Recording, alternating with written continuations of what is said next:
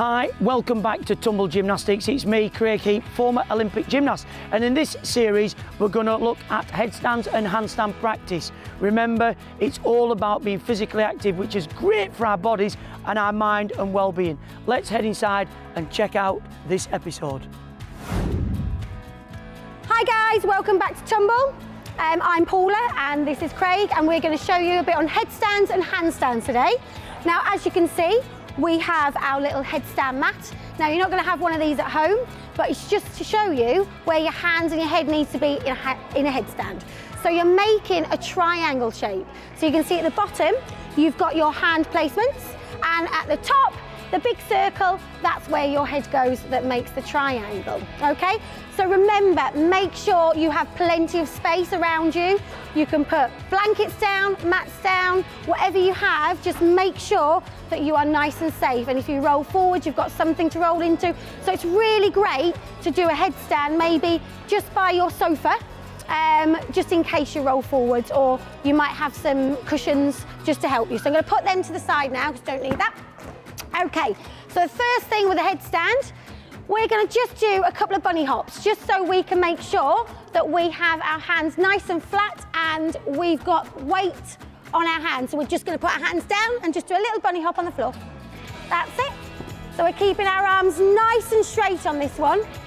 Keep those arms nice and straight, not going too high. You can see that my head stuck out, just where it's gonna make that little triangle shape. Great. Okay, so now for the headstand.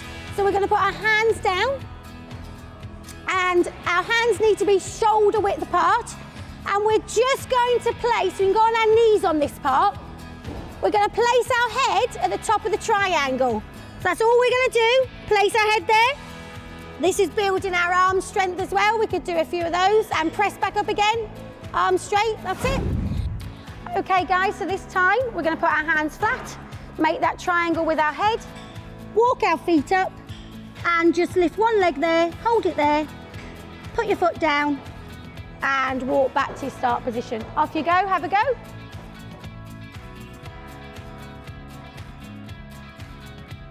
That's it. As you can see with my elbows, they're not out, they're in. Okay, so down here, walk out. Can you see my elbows are in towards my side? And I'm gonna lift, this time, we're gonna see if we can lift the other leg, pop it down, and then walk back out again. So elbows in, walk your feet, and then just quickly tap the other foot, and then back down. That's it, fab. Really good, really good. Okay, if you can do that, and you're balancing really well, then you're gonna try and lift one leg right up. So we're gonna go walking up, then lift one leg up as high as you can, back down, and then walk back out. And remember, for safety, if you've got the sofa here, which is nice and soft, or you've got somebody to help you to make sure you don't go over the top, Paula, just do that again for me. So remember, think about the triangle, walk yourself up, then extend that leg. The person can always help support and stop you coming over the top. But if you've got a sofa or loads of cushions here and you do go over the top, you'll be nice and safe, okay? So triangle position. Elbows in. Elbows in. Balance if you can. Fantastic. Do you want to try and join the other one straight as well? Brilliant. That's it, and back down. Fantastic. As you can see there, there were quite a few different variations, so that was really good. And if you're really good at it, you can crawl up, go up to the handstand, see how long you can hold it. You can do some different shapes with your legs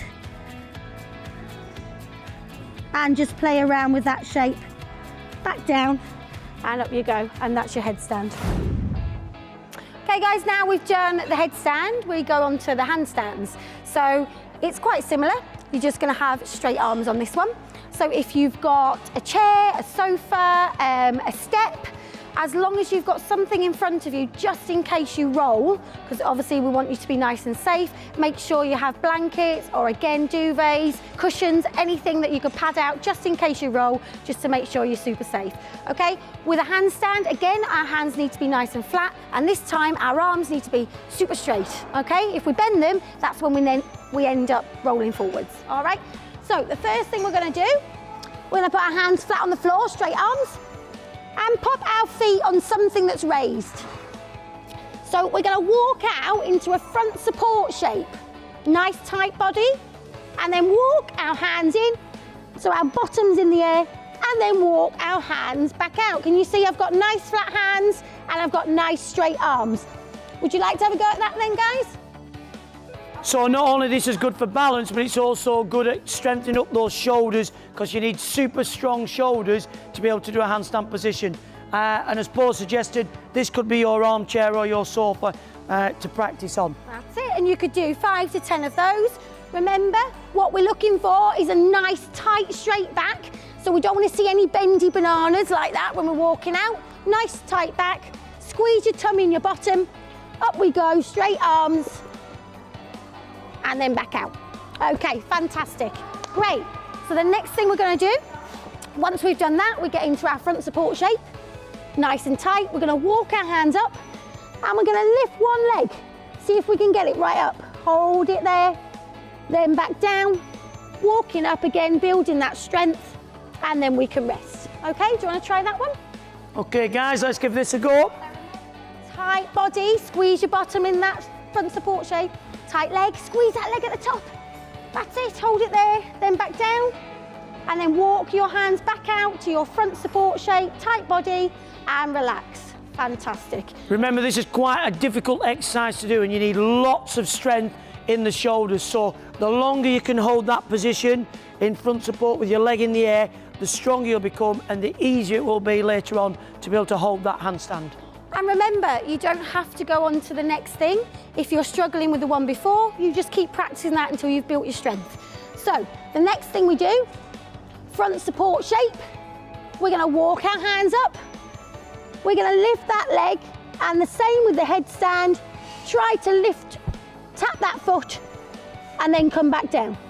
Foot down, walk out, again, building that strength. You're gonna have a go? So remember, keep that body really tight and make sure you've got something just behind you in case you fall over the top. You might have a grown up or an older brother or sister that could maybe hold your leg for you just to help you, just like this.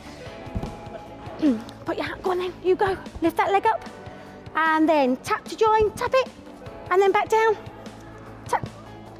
And then that will stop you from going over the top.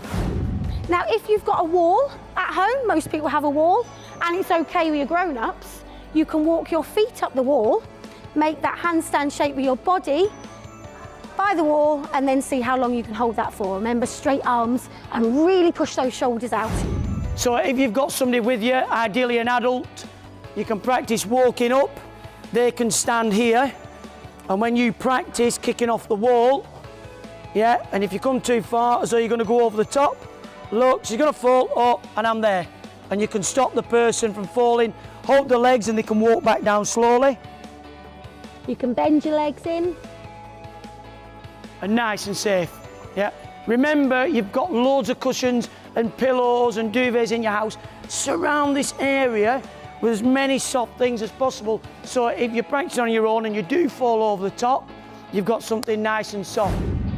So guys, uh, from me and Paula and the rest of the guys at Tumble, we hope you've enjoyed your little gymnastic workout. Lots of things to practice, but remember, be as safe as possible. And enjoy.